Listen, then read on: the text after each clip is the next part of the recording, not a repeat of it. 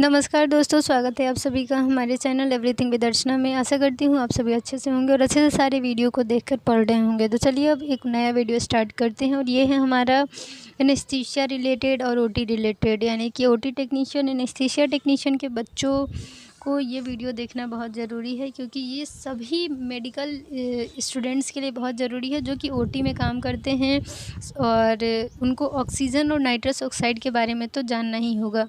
तो चलिए हम लोग स्टार्ट करते हैं कि ऑक्सीजन क्या है, किस तरह से इस्तेमाल होता है E type cylinder S type cylinder क्या है, ऑक्सीजन का एडवांटेज क्या है डिसएडवांटेज क्या है, इसके साइड इफ़ेक्ट्स क्या हैं। तो सबसे पहले समझते हैं ऑक्सीजन क्या है। It is a colourless and odourless gas कैसा है? इसका कोई भी कलर नहीं होता और कोई भी महक नहीं होता स्मेल नहीं होता।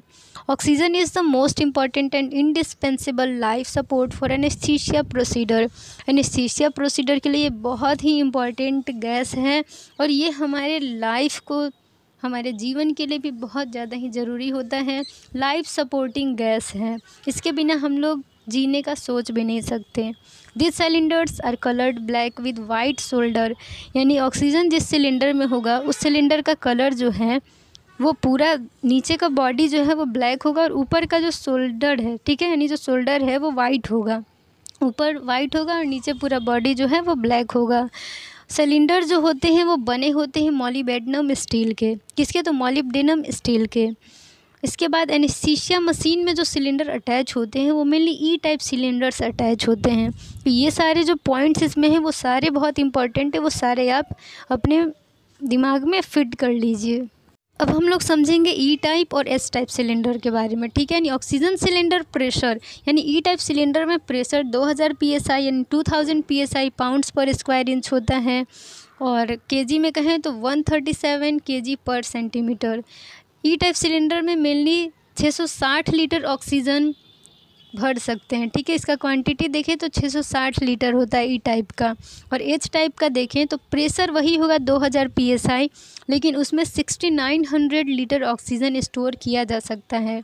तो ई टाइप में 660 और एच टाइप में 6900 क्रिटिकल टेम्परेचर देखें तो माइनस वन डिग्री सेल्सियस यानी 119 डिग्री सेल्सियस क्या होता है? क्रिटिकल टेम्परेचर होता है ऑक्सीजन का। माइनस एक सौ उन्नीस डिग्री सेल्सियस यानी क्रिटिकल टेम्परेचर ऐसा टेम्परेचर होता है जिसमें अगर कोई भी गैस अगर लिक्विड में है तो वो लिक्विड में ही रहेगा जब तक कि वो टेम्परेचर चेंज ना हो ठीक है? यानी उस टे, उस टेम्परेचर तक यानी ऐसा टेम्परेचर जिस पे कि हमारा जो है लिक्विड या फिर गैस, वो अपने फॉर्म में रहे, वो अपना स्टेट ना चेंज करे, वो हमारा क्रिटिकल टेम्परेचर होता है। अब अगर हम ऑक्सीजन का यूज़ देखें, उपयोग देखें तो मेनली एनेस्थीसिया के टाइम में नाइट्रस ऑक्साइड के साथ ऑक्सीजन को डिलीवर किया जाता है। यानी एनेस्थीसिया के टाइम में, बेहोशी के टाइम में इस्तेमाल किया जाता है। हाइपोक्सिया के टाइम में, यानी कि हमारे बॉडी में टिश्यूज़ में सेल्स में अगर ऑक्सीजन की कमी हो रही है तो उस टाइम में ऑक्सीजन डिलीवर किया जाएगा। इसके बाद अगर हम लोग देखें साइड इफ़ेक्ट्स ऑफ़ ऑक्सीजन तो oxygen administration under high pressure is irritant to the lungs में लीड टू लंग फाइब्रोसिस यानी कि इसके साइड इफ़ेक्ट्स में क्या है कि अगर कोई भी चीज़ की अति हो जाती है, यानी कोई भी खाना भी अगर ज़्यादा खा ले तो उसे दिक्कत होने लगेंगी। उसी तरह से ऑक्सीजन भी अगर ज़्यादा दिया जाए, ज़्यादा प्रेशर में तो वो इरीटेशन कॉज कर देगा हमारे फेफड़ों में, यानी हमारे फेफड़ों में दिक्कत करेगा और हो सकता है लंग फाइब्रोसिस हो जाए। ठीक है? ऑक्सीजन पॉइजनिंग में occur when it is administered for longer period under high pressure और हाई प्रेशर में अगर ज़्यादा समय तक के लिए ऑक्सीजन को दिया जाए, किसी पेशेंट को डिलीवर किया जाए तो उस पेशेंट को पॉइजनिंग हो जाएगी ऑक्सीजन पॉइजनिंग ठीक है?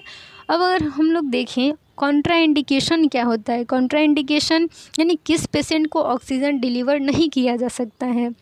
ठीक है? तो respiratory acidosis is a relative contraindication यानी रेस्पिरेटरी एसिडोसिस यानी जिसके बॉडी में कार्बन डाइऑक्साइड की मात्रा ज़्यादा हो गई है, यानी कि सी ओ टू जो है वो बॉडी में बहुत ज़्यादा एक्यूमुलेट हो गया है, बाहर नहीं निकल पा रहा है, ठीक है? तो वो एसिडिटी कॉज कर देगा बॉडी में, ठीक है? यानी पी एच जो है वो बहुत ज़्यादा ही एसिड लेवल पर बहुत ज़्यादा एसिडिटी हो गया है बॉडी में सी ओ टू ज़्यादा है बॉडी में कार्बन डाइऑक्साइड तो उस केस में क्या होता है? हमारे रेस्पिरेशन में दिक्कत होगा तो रेस्पिरेटरी एसिडोसिस की दिक्कत के कारण हम लोग ऑक्सीजन इन पेशेंट को डिलीवर नहीं करते हैं।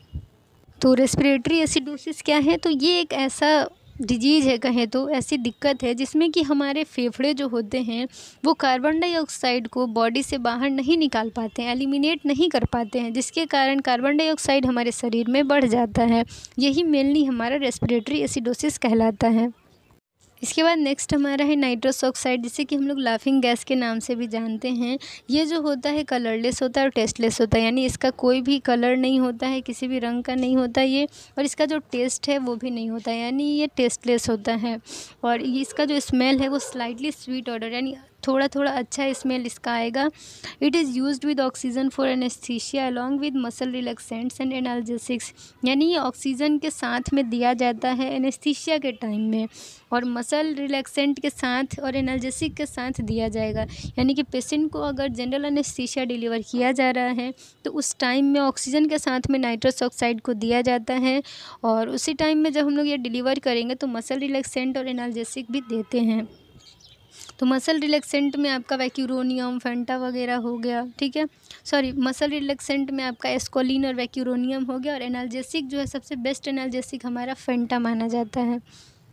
जैसे हमने ऑक्सीजन का क्वांटिटी देखा था कि कितना स्टोर किया जा सकता है, उसी तरह से हमारा जो नाइट्रस ऑक्साइड है वो 760 यानी 760 पीएसआई पर प्रेशर पर हमारा ई टाइप सिलेंडर में 1590 लीटर नाइट्रस ऑक्साइड स्टोर किया जा सकता है। तो ई टाइप में कितना? तो 1590 लीटर। और एच टाइप में हमारा 15800 लीटर नाइट्रस ऑक्साइड स्टोर किया जा सकता है। और इसका क्रिटिकल टेम्परेचर कितना है? तो 36.5 डिग्री सेल्सियस। ठीक है? तो इस चीज़ को आप याद कर लीजिए। कॉम्पिटिटिव एग्ज़ाम में ये क्वेश्चन ज़रूर आते हैं। इसके बाद नेक्स्ट हमारा है एडवांटेजेज यानी कि नाइट्रस ऑक्साइड का एडवांटेज क्या है? तो ये सेफेस्ट एनेस्थेटिक्स है, यानी इससे जो है पेशेंट को ज़्यादा दिक्कत नहीं होगा और बहुत ही सही है ये, ठीक है? इसका स्मेल भी सही है, ठीक है? ये हमारे रेस्पिरेटरी म्यूकोसा को, यानी हमारे लंग्स के जो भी लाइनिंग है, उसको ये ज़्यादा इरिटेट नहीं करेगा, वहाँ दिक्कत नहीं कॉज करेगा। और फिर ब्लड प्रेशर भी कम नहीं होगा इसके कारण। कोई भी एनेस्थीसिया रिलेटेड कॉम्प्लिकेशन नहीं होगा, ना ही बीपी कम होगा, ना ही इरीटेशन होगा रेस्पिरेटरी म्यूकोसा में। इसका अच्छा स्मेल भी है और ये सेफ़ है, ठीक है? अब इसका अगर डिसएडवांटेजेस देखा जाए, यानी कि इसकी खामियाँ, यानी हानि देखा जाए तो if used alone there is inadequate muscle relaxation अगर इसको अकेले डिलीवर किया जाए ऑक्सीजन ना डिलीवर किया जाए साथ में मसल रिलैक्सेंट और एनाल्जेसिक ना दिया जाए साथ में तो ये अपना प्रभाव उतना ज़्यादा नहीं कर पाएगा। मसल को रिलैक्स नहीं कर पाएगा। ड्यूरिंग इंडक्शन देयर में भी initial rise of blood pressure and increase heart rate जब हम लोग पेशेंट को इंड्यूस करते हैं तो उस टाइम में शुरुआत में क्या हो सकता है कि ब्लड प्रेशर बढ़ सकता है, हमारे हार्ट रेट में बढ़ोतरी हो सकती है, ठीक है? दी एनेस्थेटिक रिस्पॉन्स में भी poor in persons addicted to narcotics यानी कि एनेस्थेटिक रिस्पॉन्स यानी पेशेंट को बेहोशी दे रहे हैं तो उस वो जल्दी बेहोश नहीं होगा। वो क्यों? ताकि कभी ऐसा होता है कभी कभी कि जो पेशेंट बहुत ज़्यादा नशा करते हैं तो उन पेशेंट में एनेस्थीसिया जो है देना बहुत मुश्किल हो जाता है। क्योंकि कोई भी ड्रग्स डिलीवर कर रहे हैं, कोई भी गैस डिलीवर कर रहे हैं वेपोराइजर डिलीवर कर रहे हैं, उसमें वो उतना अच्छा एक्ट नहीं कर पाता है क्योंकि वो खुद ही नशा ले रहा है। तो उस चीज़ का वो एडिक्टेड है, ठीक है? तो उसमें जो इनका रिस्पॉन्स होता है एनेस्थीसिया का वो बहुत कम होता है।